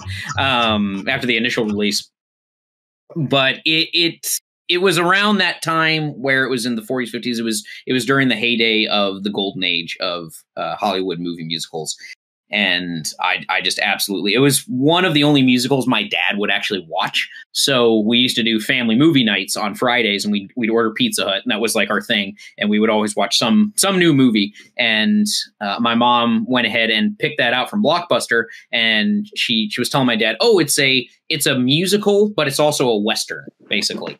Uh, and so yeah, sure enough, we we popped it in, and there's a crap ton of dancing and colorful characters and uh, lots of catchy tunes. Uh, stuff my dad doesn't normally appreciate, but he enjoyed it a lot. Uh, not as much as Paint Your Wagon, but we'll talk about a wagon. we'll talk about overrated musicals in another episode, uh, and how Clint Eastwood should should not sing uh, ever. But that's okay. Uh, so moving on, Gary, let's go to your number four. What do you think? Um, my number four would be Moulin Rouge. Ugh. Ugh. Okay. Interesting pick. Thank you. That's almost as good as the Little Toaster. The Brave Little Toaster is an excellent oh, yeah. movie that teaches you how to accept the futility of life and to give into it. Meg, don't let any of your students listen to this episode just because Gary is just. We're all food for worms, and that's what that's what it's about um, never. I, I think the again. kids need to know, honestly. Yeah, like, life is terrible, kids. It's only going to get worse as you get older. Yeah, kill, yeah. kill yourselves now. Thank no, you. Gary, no. oh God, Gary, you are the worst. Fuck. It's crazy uh, how the number of listeners we have keeps dropping off. That's not true, Neil. Don't say things like that. Uh, just kidding. Kat, what's your number four? I mean, we've got to throw West Side Story up on the board, right? Oh yeah, Absolutely. we do. But is it the believe I original or the remake? Oh man, I don't know. Good question. Well, which one did you like better? Or I guess oh you you didn't see did you say you I can't remember did you see the new one? I haven't seen the new one, so Okay. Okay. So the original for now. The original We'll for now. You know what? Okay. Someone challenged me. Put the revival on the board. Boom. Gary, throw it up there. Gary, sounds like something you would do without even seeing it. Movie mu- musicals or revivals. we'll leave the original up there for now. Uh, Meg, what would be your fourth? My fourth would be Hairspray with Ooh, Zac. Efron. Mm-hmm. Mm-hmm. It's real good. I just love the music. I wish that I could Mhm. produce that in my Central Texas school, but I cannot. And it is such a shame. Yeah. Oh God, I, I just I couldn't imagine them allow, allowing you to be able to do that. And it it was. I mean, talk about a talk about a musical that really hit the nail on the head and talked about the tough issues of the time that it was in. You know, talking about Mhm. segregation and you know really staying staying true to yourself. And you know, I mean, they they, they there's a, there's a lot of things. You know, talking about aesthetics don't matter, and yeah, there's just a lot of a lot of well made points in in that's just the script by itself. Um, God, man, yeah, good pick. Uh, so looks like Neil, you are up next. All right, my number four is going to be uh, a little off Broadway musical called Little Shop of Horrors. Oh, so with good. Rick, with Rick Moranis. Rick Moranis. So good. I didn't think of Mm. that one, but that one's amazing. I love that movie. That's a good pick, Neil. Damn it, Neil. Son of That's what I do. I make good picks. Uh, for my fourth pick, I'm going to go ahead and throw Rent up there. Um, I was when I've Trash when movie. Not not even okay. First off, Chris Columbus was surprisingly a really good director to pick to actually go in and and bring this to life. Uh, what was really cool, you don't see it very often anymore. The Rent had brought back six of the original Broadway cast members uh, you know, I mean, Idina Menzel and uh, Adam Pascal and Anthony Rapp, those guys all came back. But really, the only, I mean, I guess they added um, Rosario Dawson as Mimi was really the only giant recast that they had. Um, and it just so happened that the majority of the leads in that movie and in the music, the original musical, were also very big and or decently big in Hollywood and TV during that time. So, uh, it, you know, it, it warranted um, Paramount bringing them back. So that's going to be my pick. Uh, let's start rounding out our top fives. Uh, Gary, I'm going to let you go ahead and, and uh, round out your top five. Hopefully, you have a better pick than the Brave Little Toaster, but we'll see. Gary, I'm just kidding. Brave Little Toaster Uh, a good pick. Uh, I, th- I think it's called Mammy, Mammy. Uh, Mammy? the one that's like, yeah, that has the "We Need a Little Christmas," right? Name? this very ma- I don't, think you can, I don't think you can call it your top five if you don't know the name. of it. You know, I just, uh, yeah. Mame, okay. Mame, okay. I, I, you know, I, I can't believe I've actually, I've actually, I've never heard of that. Okay. All right, Mame. Okay. really got me. Uh, so Meg, why don't you round out your top five? Hopefully sure. it wasn't Mammy. Oh, that was so funny. Um, my final pick is Dreamgirls because Oh, of Jennifer Hudson and Beyonce, and I love the music, and I thought they did a really good job of adapting it to film, and I just think it's a really great show. When did that one come out? Mm, Dreamgirls, two thousand six, two thousand seven. sounds I don't remember good. I don't remember Yeah. that one. Really? Yeah, is it Jamie Foxx, Eddie Murphy got actually Eddie Murphy. I think he got nominated for his first Oscar um, for best supporting actor. Uh, he didn't win, unfortunately. But but yeah, no, that yeah, it was it was a really good cast. Yeah, I and it's it's funny, you know, Jennifer Hudson just kind of disappeared. uh, like well, after that happened, uh, right? Well, her, I mean, I, her life took a tragic turn. I don't, I don't know the oh. details, oh. but there was like some violent crime or something within her family. Like some close relatives oh, wow. got murdered. Yeah, she she went through quite the, quite the, I don't know, downward spiral after that film. Uh-huh. I don't know, okay. but she, came, huh. but I think she, she came back. She, she came back and she lost all this weight. Yeah, she did. Yeah, she looks great. Yeah. Yeah, absolutely. Is um, she a um, voice in Sing? Yes. Isn't she the elephant? I'm pretty mm-hmm. sure. I don't right? know. I thought I thought I thought she was. Or the um She's in it though, isn't she? Like, I'm, I'm pretty sure she's the elephant. Maybe. Uh I want to look that up real quick. If yeah, but her, a... her voice is just of not of this world. It's so beautiful. Oh, you know what? It says here that.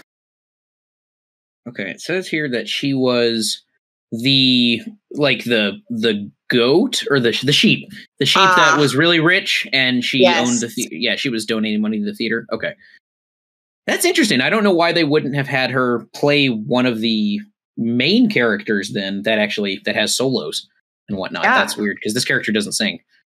Oh, strange. Uh, Kat, how about you? What rounds out your top five? And it's hard. I got two Rodgers and Hammersteins in my head: Oklahoma, okay. and then uh, the original Cinderella. Okay, all right. And putting Julie Andrews on the map, filming it in one night, writing mm-hmm. it for mm-hmm. TV. I don't know. Maybe I'm in love with the story, but uh, mm-hmm. Some of the music in that is just like some of their best writing. What what um which which one would you pick though? If you had to, you had a gun to your head, which one would you pick? You know what? I'm gonna pick Oklahoma because my goal of okay. tonight is getting my top five on that board. I, I you know what? I don't know. I think more people have seen Oklahoma, so okay. I'm here to Fair win, John. That's right. I, I know. Hey, hey, you know you're you're in it to win it. You know that's uh, us Lide Lines. We gotta we're, we're always super competitive. Um, uh, Neil, how about you? What's your what's your fifth one? Uh, it's a tough one, but I think I'm going to go with Mary Poppins. Okay. Fair enough. Very good pick. Always solid. That one you did not steal from me, Neil. Hey, so I appreciate that. Yeah, I appreciate that. I appreciate that. Um, cool random random fact for you. Um, they didn't bring so Julie Andrews' big breakout obviously we saw was was Mary Poppins, and she you know won an, won an Oscar for it. That was the same year that My Fair Lady came out, and they had gone with Audrey Hepburn to play Eliza Doolittle, um, even though Julie Andrews had done the original West End Broadway production of it. Uh, they didn't think that she was, since she wasn't a big enough star, and you know, Breakfast at Tiffany's had made Audrey Hepburn explode. Uh, they decided to go with her instead of Andrews. So I wonder what would have happened had they casted Julie Andrews as Liza Doolittle, and then uh, and and then who would have played Mary Poppins? You know, would we have had that same? Would it have been that same iconic type of film? So, I mean, I'm sure she doesn't mind. She won an Oscar. well, true, true. She, that's very true. Audrey Hepburn couldn't even be qualified for the Oscars because someone else had to sing for her. Yeah, that's right. Yeah, somebody. Yeah, she she got dubbed over. Forgot about that. Yeah, she did. Yeah, because I yeah I, I didn't uh, I guess I didn't know much about her backstory, but I don't ever remember reading anything about her having any like musical music training of any kind. Things um, part of um, Show Me. The lower notes mm-hmm. in Show Me are dubbed over. Uh, so for mine to round out my top five, it was a tough one, as it always is. Oh, there's just there's just so many good ones. Um, I I honestly I don't actually I don't know much about the background on this. I don't know if it was a musical beforehand or not, but The Greatest Showman uh has just oh. ever since it came out I've I still listen to that soundtrack to this day. I'll still throw it up on Spotify and uh if I'm in a musical mood and I'll I'll take a I'll take a listen. I don't know much about its background. I don't know if it was originally you know part of that or not. Um and there's also you know there's there's still there's the king and i there's the music man there's funny girl. Uh hell there's my fair lady if you're a fan of that you know? Uh i just for me personally greatest showman is one that i can consistently right, listen you didn't to. put a star is born up johnny. You love that. Yeah I, see that's the thing gary is i i don't know if i would consider a star is born a musical. It's not even a jukebox musical really because they're singing the songs they don't just randomly burst out into song and that's what i feel makes the musical. They're singing all their songs when they're they're rehearsing or they're actually on stage in a live performance you know? Um that's a good point. I mean it, it, you could definitely make the argument for it potentially being a musical. If it's interesting that you bring that up now you got me thinking now you got me like no, I think, myself, I think you're thinking but, correctly because like I love the Blues Brothers, but I don't think it's a musical. They just happen to be singing songs during the movie. Right, right, right, right. Okay, okay. Fair enough, fair enough. Okay, so we all have our own individual Mount Rushmore plus one. Now, the entertaining and potentially very tricky and difficult part of the evening begins. We have to collectively agree on a top five all five of us have to collectively agree on a top five. So basically, what will happen is we will go round robin style. Everybody will select one. We will we will we'll throw out one recommendation, and it can be from your list or somebody else's list if you want to, uh, or one that we didn't mention. Okay, and everybody has to agree with it. If one person says nay, then we discard that one, and we have to go back into the into the pile. So just uh, I'll go ahead and I'll, I'll, share this on the Discord text in a second. But Meg's top five was Peter Pan, Gypsy, Grease, Hairspray, and Dreamgirls. Kat's was Sound of Music, In the Heights, Nine, West Side Story, Oklahoma. Neil's was The Wizard of Oz, Singing in the Rain, The Rocky Horror Picture Show, Little Shop of Horrors, Mary Poppins. Gary's was Fiddler on the Roof, Evita, Brave Little Toaster, Moulin Rouge, and Mammy. Uh, or Mame, excuse me. Yeah, it was. uh, mine was Chicago, Cabaret, Seven Brides for Seven Brothers, Rent, and The Greatest Showman. Okay. So we'll start once again uh, with our guests.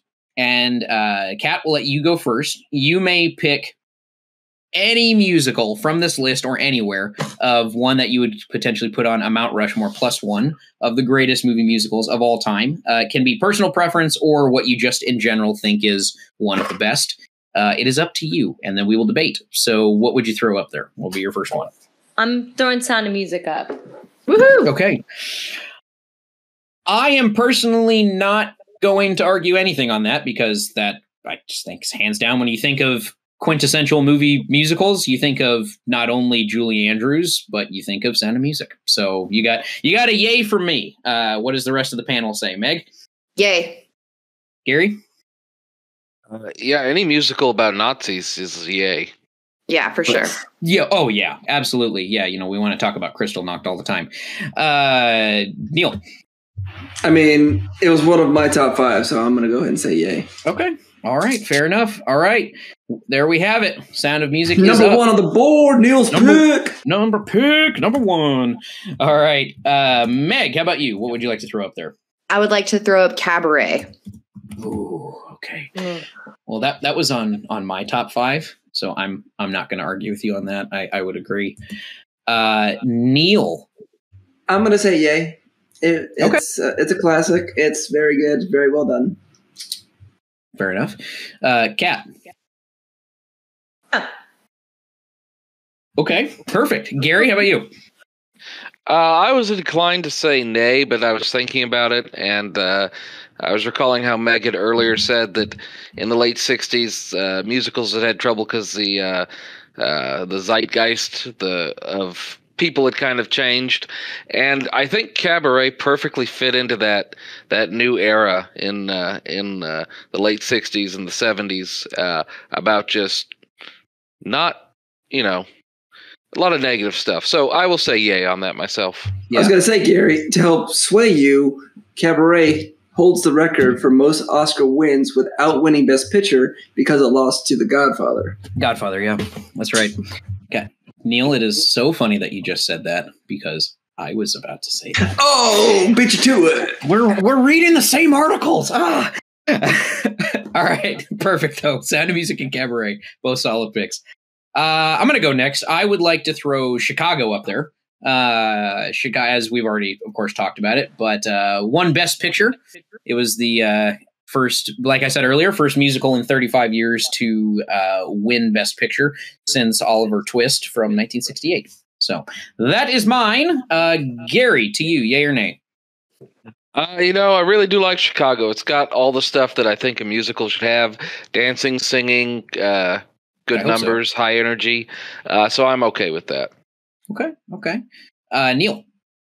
Um. oh, there's trouble in paradise. No. I'm gonna say yay. It it was part of the whole resurgence back into the into the musicals and the movies. Uh, it was very well done. It was exciting. It was electric. Yeah. Uh, yay. Okay. All right. Kat. Yeah. Yeah, definitely. It's on my top five too. Okay. Meg, it's all up to you. What do you say, yay or nay? Ugh, I want to say nay because like we already oh. have a Kander and Ebb up there, but I agree with what you're saying. Like it was so good, it was so modern and fresh. It like really revived the movie musical. It's great choreography and I loved the cast. So I'll just kind of go with you guys and say yay. All right, sounds good. All right, three for three, three for three. Uh, all right, uh, Meg. Since you had a little trouble saying yay on on the last one, I'll let you go next. Uh, what do you want to throw up there? Um. Ooh, I think that I want to throw up Grease. okay, uh, Kat, your throw thoughts. up Grease. Right, I'm gonna put. I'm gonna name this. I'm gonna nay this. I'm sorry. I'm yeah, I'm gonna have to jump in there with you. I'm gonna have to nay that one too. Grease is not the word. Have you heard? oh man, I, I, I think I, I don't know, man. Maybe, maybe my only thing with it was it, I, we just we had to watch it so much when we were in grade school, and it wasn't just it wasn't just high school. It was even, like even junior high and stuff like that was that and Sound of Music were the two musicals that that we would just that we would always watch in choir or in theater or something like that. I just I don't know. But you voted for Sound of Music. And I, love, I, I, I love Sound of Music. Yes. I just well, think Grease is cheesy. What kind of Grease is cheesy. That? That's just me. Okay, well, if you want Mark, I think Grease is cheesy. I, I always thought it. I always thought it was overrated. Um, Finally, just, the truth. Thank yeah, you. I think if you take John Travolta out of that movie, nobody would have watched it. That's fair. Maybe, yeah, maybe, maybe. I mean, it's no brave little toaster, but I mean, you know, obviously. I think uh, I think there's a lot of people out there who really love Grease and oh, were oh, yeah. brought to the musical via Grease. 100%. Oh, for sure. Yeah, for sure. Absolutely. Yeah, I would totally agree. Uh, I mean, when when people talk about when they're like, "Oh, yeah," like if you talk to somebody who doesn't know a lot about musicals or doesn't watch them very frequently, they're like, "Oh, what's your favorite?" I bet you, I guarantee you, you know, six, seven times out of ten, they're probably going to say Grease because it's the only one they can think of. You know, just because it's so popular. You know, it's so iconic. Um, God, yeah. There's there's there's a lot of catchy songs in it. It's uh, yeah, but but okay, all right. So uh, Neil, what would you like to throw up there? Uh, I think it has a shot of making it. Let's throw up Little Shop of Horrors. Okay. Okay. Mm-hmm. Uh, Gary, thoughts? I am 100% down for that. That's uh, fun, Ooh. catchy. Uh, uh, Rick Moranis, uh, uh, Zero Mostel. Uh, the, everybody does a great job. The I Am Your Dentist song is, you know, it, it sticks in your head. And I think, you know, you know, it's important to have a song that sticks in your head and you can't get rid of it and just mm-hmm. burrows into your brain until you want to drill it out. So yeah. you are morbid as hell tonight. uh, okay, uh, Meg, where where are you at with Little Shop of Horrors? Yeah, one hundred percent. Little Shop of Horrors. I'm a big fan. Okay, okay. Uh, Kat. Absolutely. Okay. Uh, I'm not gonna lie. I was gonna say nay. I really, I feel like there's three or four others that I could throw on top of it. Um, but if everybody's gonna go that route, I feel like we need to give some credit to the comedic movie musicals, and we don't currently have that on the list. And uh, I, I obviously love Rick Moranis and uh, Steve Martin in that. Actually, you know, really cool though. The guys that did what was the name of the plant again? Anybody remember? Audrey, Audrey 2. Audrey 2. Okay. Audrey 2 actually was designed by the same guys that designed uh, the Alien Queen in the Alien franchise. Uh, so little piece of history for you. Yeah. Um, so we will we will throw that up there. Little Shop of Horrors. Welcome to Mount Rushmore plus one. Okay. So Gary. now you're saying that two of my top five are, are up there. Is that correct? Oh god damn it, Neil. Ooh, yeah, ooh. you're right. You're right. Uh, Gary, Gary, can you bring us home?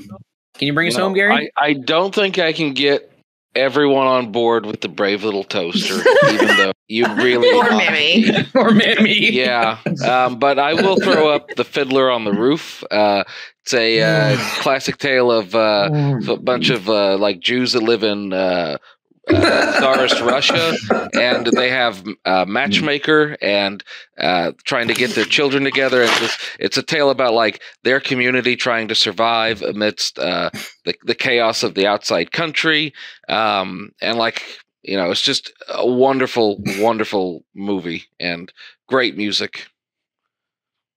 Okay, all right, fair enough. I agree with you, man. I agree with you that it's it's got great music. Kat, what do you think? Fiddler on the Roof. Absolutely. Yeah. Uh, okay. It's one of my favorites. I was gonna suggest it for this if if no one else did. So hmm.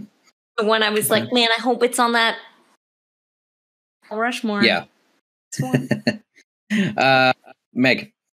Absolutely. I love Fiddler on the Roof. I think it's one of the greatest musicals of all time. Let's throw it up. It is a good one. Neil. Is this four or five? Five. This this rounds it out. I think you and I are in the same boat. Hmm. I can hear the I can hear the the trepidation in your voice. Because there's so many other strong ones. There are. There's there's also. I mean, there's also Singing in the Rain. There's also there's Oklahoma. Yeah. There's also I mean, Oklahoma.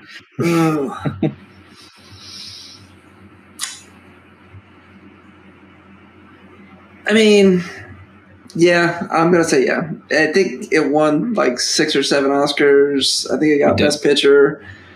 Uh, yeah, Fiddle on the Roof, number five. Throw it up there.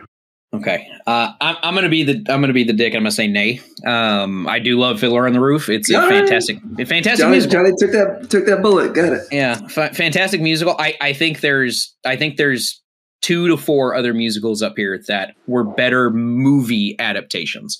I think there there were two or four that were str- that were stronger, and they're still my favorite of all time, which is still up here, which is which is the the next one I was going to suggest. So not opposed to it, Gary. Not opposed to it. Um, but I, I, think there's a couple that we could throw out really quick and and and chat about. Um, I would like to throw up "Singing in the Rain" as as as my recommendation. That has been my favorite movie musical since I was a young kid. Did we already has, say that? No, not yet. We haven't. We haven't. That was number yet. one. No, first one was Sound of Music. music. Oh, Sound of Music. Yeah, yeah. So we've got Sound of Music, Cabaret Chicago, and Little Shop of Horrors right now as as our uh, uh, four or five. But we still got one more to fill out. I'm I'm going to throw out Singing in the Rain. Um, you want to talk about the prototypical musical trio? I mean, God, dude. I mean, you throw Gene Kelly, Donald O'Connor, and uh, Debbie Reynolds all all in one fucking film, and it's just you know gut bursting laughter and amazing choreography, amazing dancing skills, you know, great voices. Outside of the one song where it talks about where it's Gene Kelly and he's like arriving in, you know, New York or LA, wherever, and he's trying to find an agent. Uh, that, that, that like 20 minute dance number I just thought was absolutely ridiculous and not called for at all. Just they didn't need it. Um, that was the only weak part of that movie, I thought. Um, but I don't know. That's that's that's that's mine. So I I throw it up. So Gary, since I said nay on yours, I'll let you start us out with this one. Uh, what do you think of Singing in the Rain? I was gonna go yes, since it's a classic one, but then you reminded me about that twenty minute dance portion, yeah. and I just I just don't like it, so I'm a nay. Okay. All right. Okay. Well, there's no, there's yeah, no sense I've in destroyed your dreams, Jonny. I'm never going to fucking forgive you. Yeah. You know what I'm going to suggest next is is Mame. So you know, okay. And I'm gonna I'm gonna I'm gonna take credit for it, man. Uh, okay, so there's no sense in debating that because uh, Gary already said nay. We just need one of those. So, Kat, I'm gonna let you. I'm gonna ask you to throw up another one. Have we not thrown in the heights back on the board? We have not yet. Okay, I'm throwing it up. Okay. Okay. All right. In the heights. Yeah. Yeah. Um, has has just curious? Has everybody here seen it? I know it's not quite as popular as the other ones. Um, I have not. Did just you have not? Okay. Not. Right. Well, Gary, you haven't either. All right. Well, damn. so it's, it's gonna be a no for me. okay. All right. All right. Move, move, moving on. Moving on. Um, Neil, what would be one that you would throw up there? I think a very strong contender is the Wizard of Oz. Um, I'm gonna I'm gonna go say nay on that one early. I I, I uh, un, unlike the majority of you, I I don't really consider it to be a musical. Um, I mean, it has you can certainly make an argument for it. Um, I just I see it more as a classic piece of cinema that is a rite of passage if you you know just to just to watch all the classics. Um, so I'm, I'm gonna have to say nay on that one. Just there don't think go. there's enough music in it. Um, Meg, what would be another one that you would like to throw up? I would like to throw up hairspray. Nice, good pick. Solid, solid. Uh, has everybody seen hairspray? Pretty sure, but I just want to recall. Gary and Neil, it's more to you. Yeah. You have? Yes. Okay. All right. Great, great, great. Uh, Kat, what do you think? Yay or nay on hairspray? Honey, don't make me go first. all right, we'll skip. We'll skip you. That's all right. We'll skip you. Uh, Gary, you're next. Where's the nay. chat with all the with the list of everything? Let me throw up what we got left here. I think uh, I think hairspray is good, but I think like uh, Gypsy would have my vote before hairspray. Really? Yeah. Okay. Why is that? Just out of curiosity.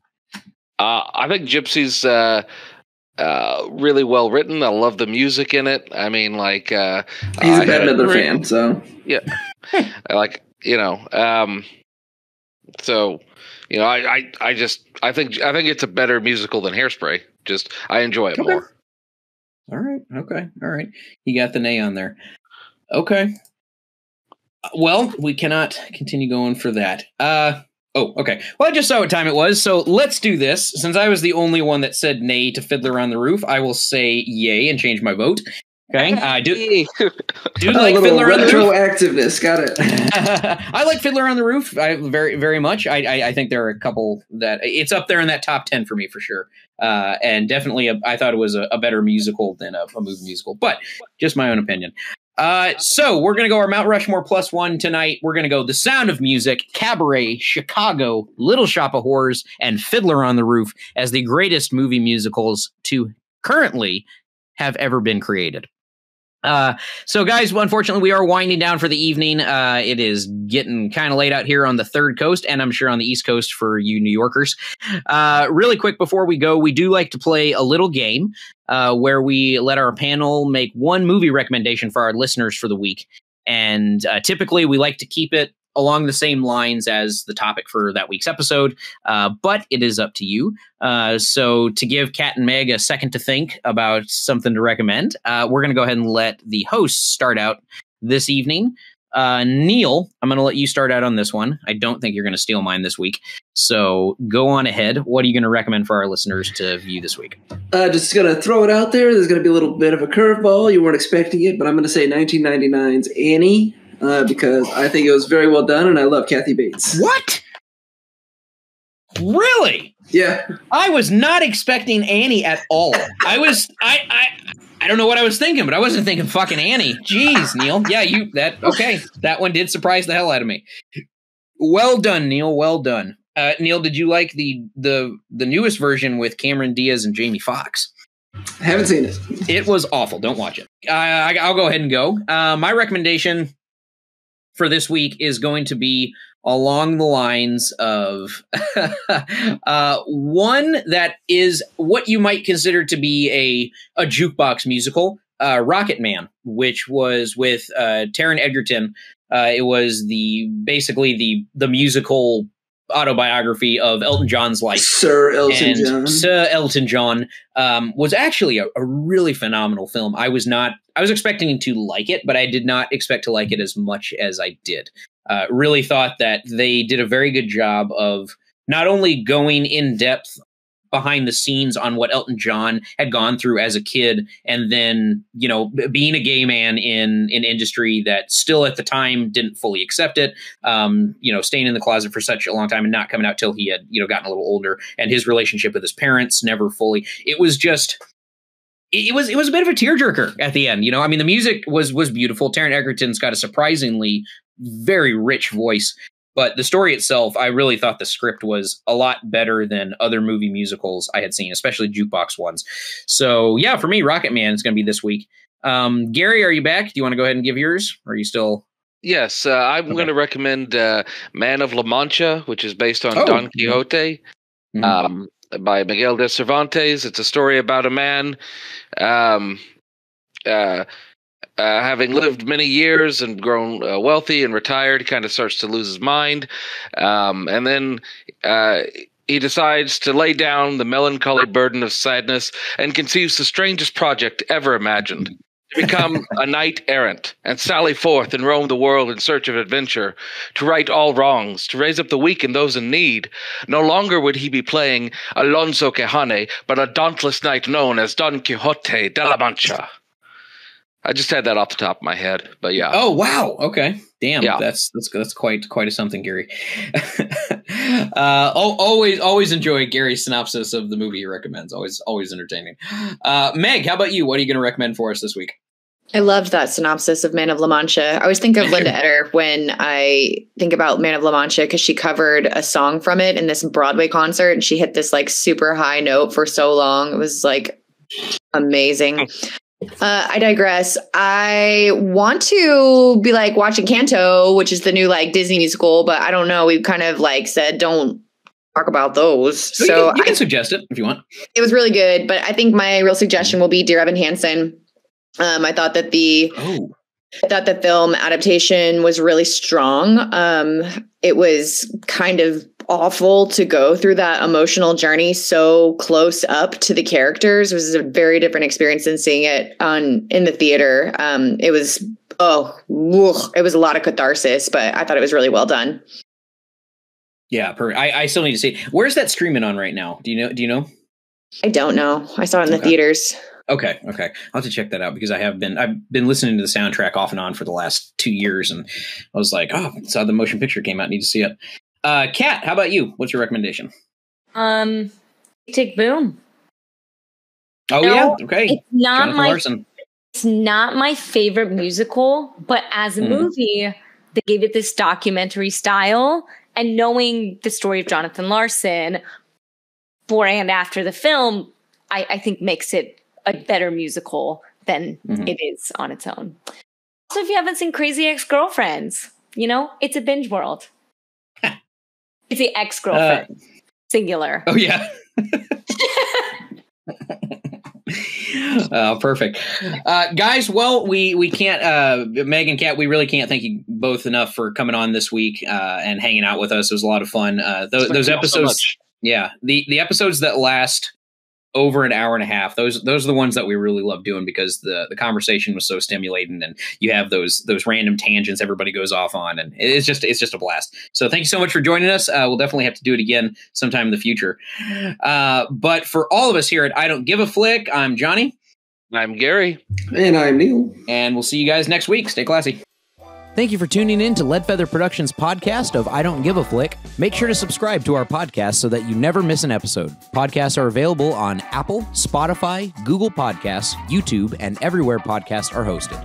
I Don't Give a Flick is hosted and produced by Jonny Blackburn, Gary Elmore, and Neil Riley. Executive producer Jonny Blackburn, technical director, editor, and audio mixer Gary Elmore. I Don't Give a Flick is a LeadFeather production, copyright LeadFeather Productions 2021.